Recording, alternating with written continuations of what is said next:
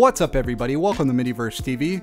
Today we're going to be building a DIY synthesizer module from Synthrotek.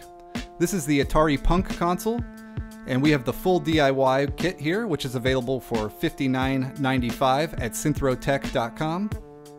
And this particular video isn't necessarily meant to be a how-to assembly video.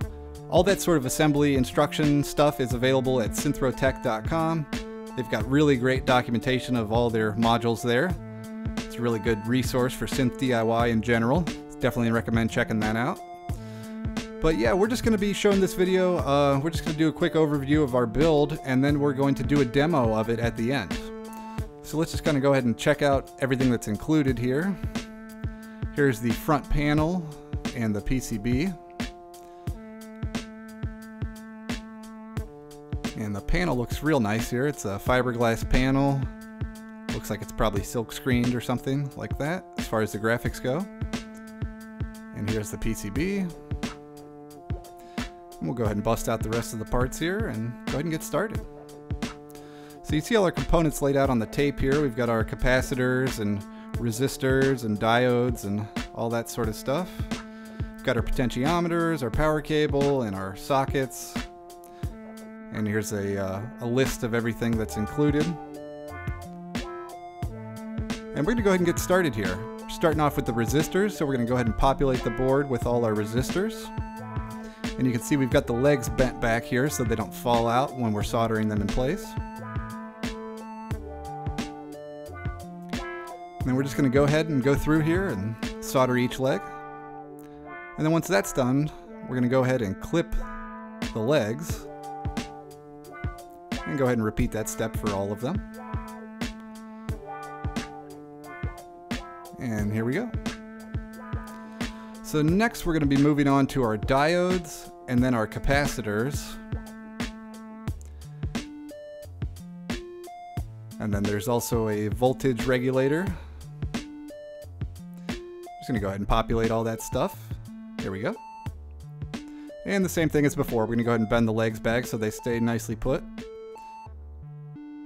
And we're going to go ahead and solder everything in place.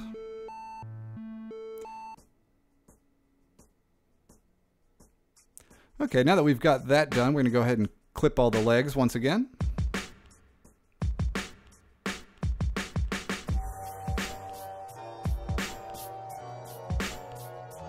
All right, next we're going to move on to our sockets. Here we have a 14 pin socket, and we're just going to start with the by soldering the one corner in place. That way we can flip it upside down and it stays in place.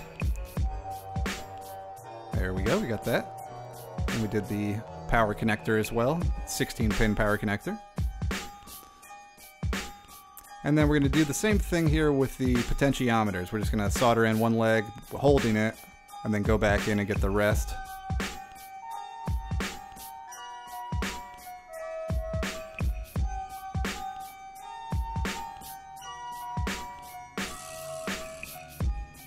And then we're going to use that same trick to get the uh, to get the jacks in place here. Okay, so we've got all our sockets in place, got all our jacks aligned, and we're going to go ahead and apply the solder.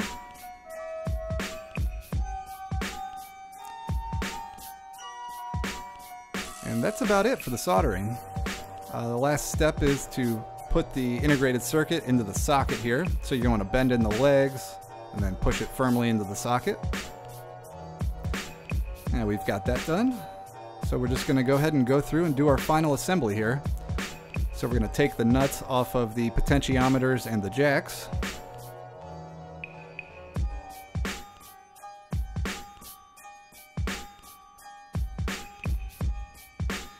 Then we're going to put on our front panel and uh, screw everything down with our fingers at first.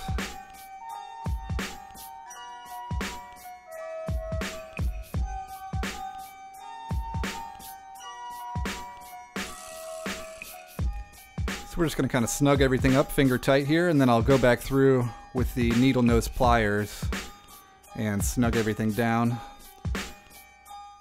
very carefully not to scratch this nice looking front panel.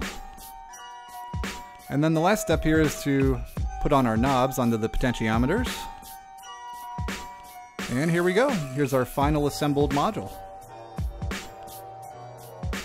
So now we're just going to plug in the power cable and put it into our modular system.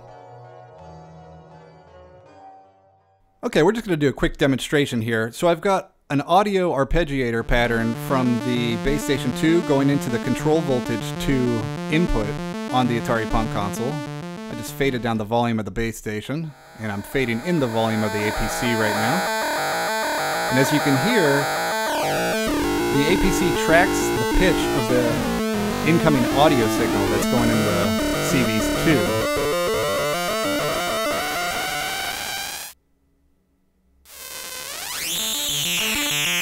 Kind of sweep through the knobs here. Now I'm going to bring the audio level of the Bass Station 2 back in again so you can hear what they sound like together.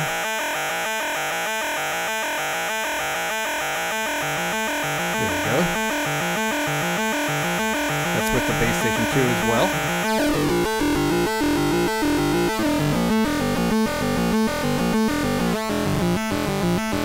Faded the volume of the Bass Station 2 back out. Now it's just the APC again.